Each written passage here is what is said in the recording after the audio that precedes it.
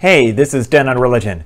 Are you interested in diving a little deeper into religion topics? This is the place. I'm Mark Banis. I've taught college courses in religion, philosophy, and humanities for 14 years. I've also delivered academic presentations at religion conferences across the country and have published a few journal articles in religion. I love teaching and helping people understand important topics.